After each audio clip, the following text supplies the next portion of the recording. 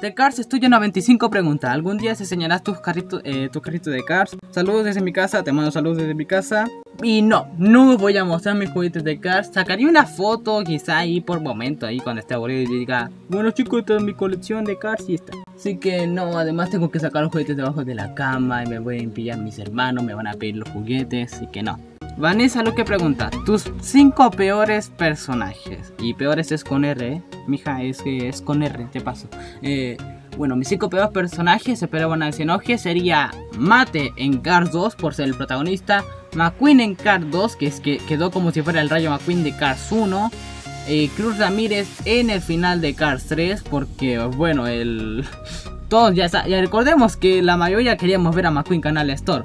McQueen también en el final de Cars 3 porque está él desde el que quiso dejar que Cruz corriera porque no le dejó correr después de terminar la carrera. Y, y el último personaje podría ser Jason Storm porque eso como está más o menos el villano. 2 alguna subida de tops. Sí, me tengo a hacer un video de tops en un día, sí, así quizás como, no sé, 20 curiosidades sobre el Rayo McQueen, o 20 curiosidades sobre Cars, o 20 curiosidades de Slendytubbies, aunque poca gente verá ese video. Pero sí, quizás haga tops. Y 3, ¿qué pasaría si Jason Store apareciera en Cars 2? Pues Jason Store sería un Francesco Bernuri, pero. o sea, sería un Francesco y ya. Sería como Francesco Bernuri, pero con otro diseño y con otra voz y todo eso. Porque así va la cosa.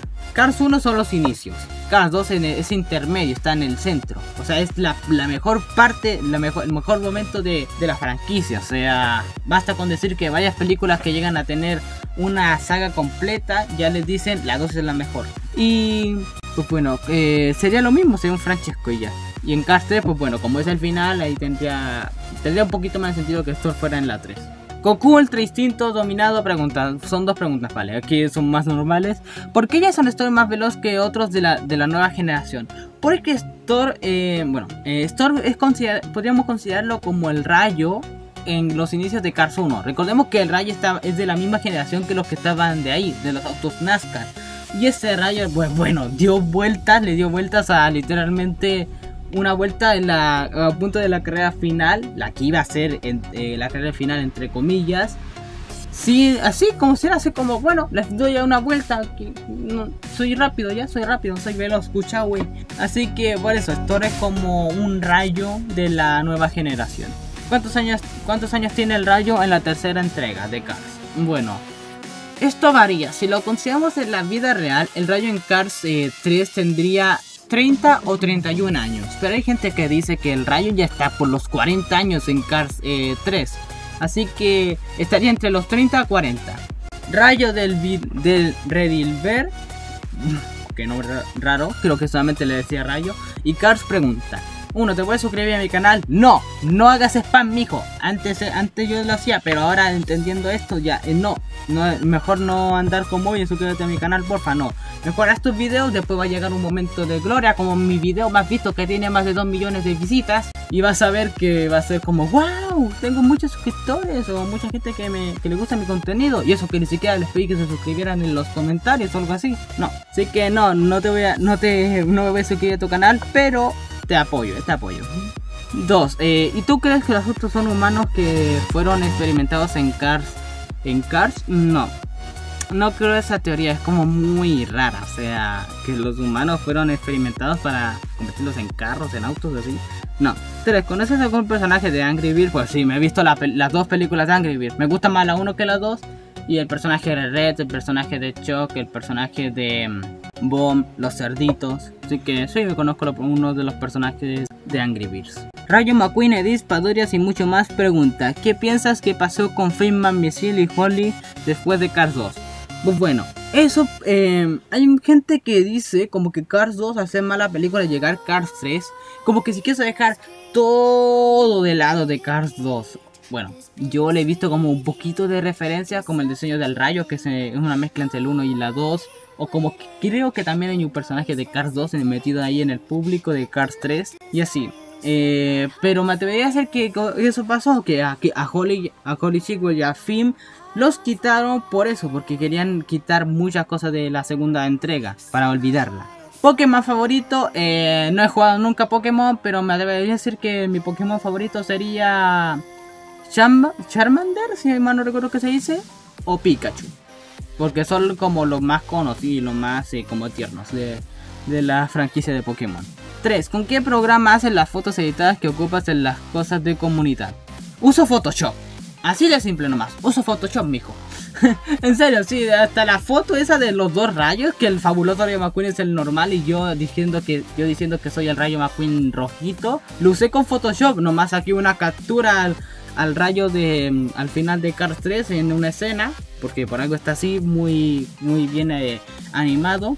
Le puse captura, le quité el fondo para convertirlo en una imagen PNG y ya está. Toma, ahí tengo un Rayo McQueen, luego le agrego el otro y así.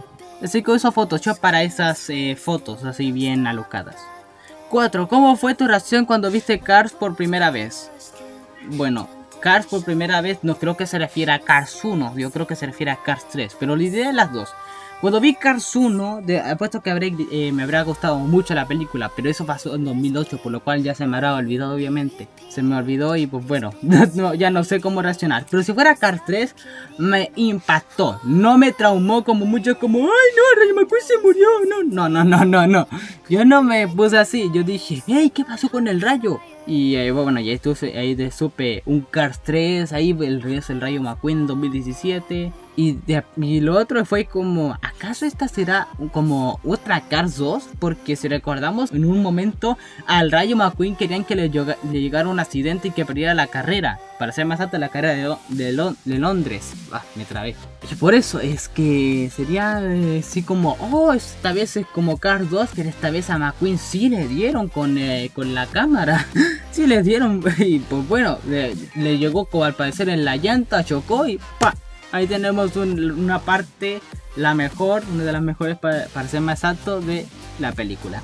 Y saludos desde Chile. Vale, te mando saludos, bro. Yo también soy de Chile. Dime dónde eres en los comentarios para saber si también somos del mismo lugar. Ah, y otra pregunta que mm, al parecer me dejó varias. ¿Has jugado eh, GTA V? Sí, he jugado GTA V gracias a Camilo, que es mi amigo slash vecino porque lo tengo en la casa del frente. Así que sí, he jugado GTA V, el 4, que lo jugué por mi propia cuenta en Xbox. Y el GTA San Andreas, que lo he jugado una versión, la versión normal y una versión muy pirata pirateada, que era con cosas de Chile, como en vez de salir un letrero de algo de GTA San Andreas, salía Sabori. Así literalmente, y Sabori es una marca de helado para, de Chile por si preguntan. No sé si también será para otros países como Claro, Movistar o algo así, pero les digo. Esdras, eh, la sala pregunta. Eh, tengo cinco preguntas. Uno, ¿qué pasó con Holy Chick? Ya lo dije.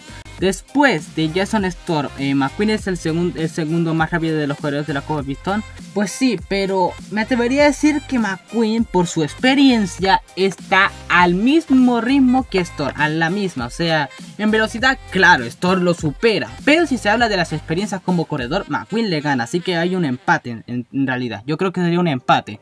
Uno le gana por experiencia, el otro le gana por la velocidad. De los corredores de Cardo, ¿qué diseño de los autos te gustó más? Mm, pues serían los autos de los NASCAR, ¿no? Eh, como no he visto mucho Fórmula 1, estoy más acostumbrado a ver los NASCAR gracias a McQueen. Y los que me gustarían eran los del verde, Lewis Hamilton, Smash Snell y así.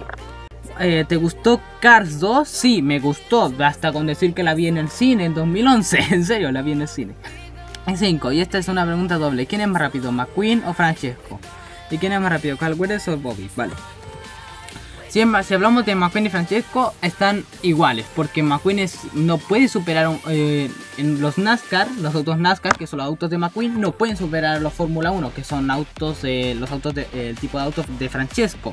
Y por ende al McQueen, eh, McQueen al un auto de NASCAR muy pero muy rápido, como de otro nivel, están a la par, están iguales. Francesco quizás sea un auto normal, o, y así, quizás no sea el Fórmula 1 más rápido, pero está a la par con NASCAR y. Y que ahí la otra sobre Caldwell y Bobby, me atrevería a decir que es más rápido Bobby, porque lo he visto como a él más veces en el segundo lugar que a Cal. Interesante.